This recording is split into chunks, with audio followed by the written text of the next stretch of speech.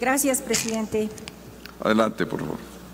La oposición vive en la era de la desinformación, de la mentira y el encono. Es claro que su objetivo es generar inestabilidad y un clima de confrontación entre las y los mexicanos. Pero afortunadamente hoy gozamos del derecho a la información directamente desde el Poder Ejecutivo con nuestro presidente, las y los servidores públicos en las conferencias de prensa matutinas. Hoy el pueblo de México está informado. No tenemos ya solamente como anteriormente a los medios de comunicación controlados, sino tenemos a las redes sociales e información desde el gobierno.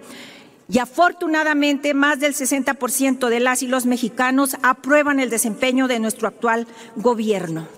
Es tanto el encono contra el doctor Hugo López Gatel que creo que solo hay una persona a quien atacan más que a él y es al presidente Andrés Manuel López Obrador.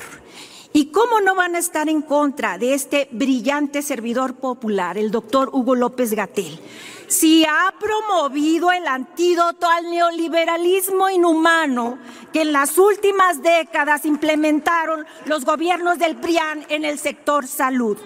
El antídoto de la prevención en salud, asesinos, es lo que ustedes hicieron con el pueblo de México.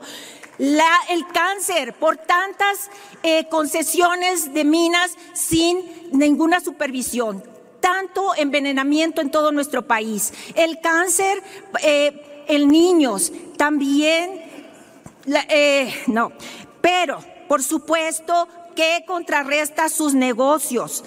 El antídoto de la corrupción en el sector salud. El doctor Hugo López Gatel ha sido uno de los pilares de la recuperación del sector salud, un sector salud desmantelado por las anteriores administraciones, las del PRIAN, que lo dejaron caer para hacer sus negocios.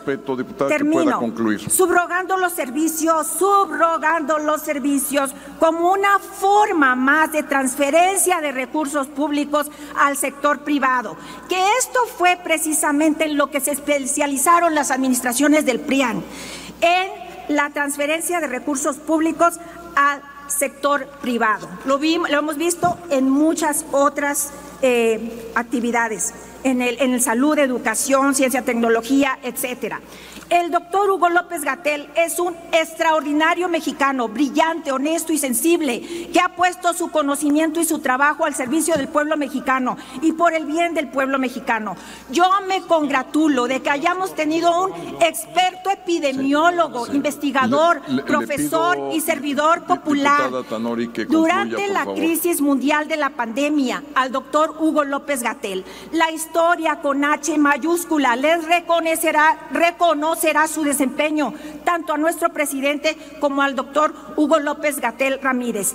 Con el presidente Andrés Manuel López Obrador a la cabeza, seguimos y seguiremos transformando México por el bien de todas y todos. Es cuanto.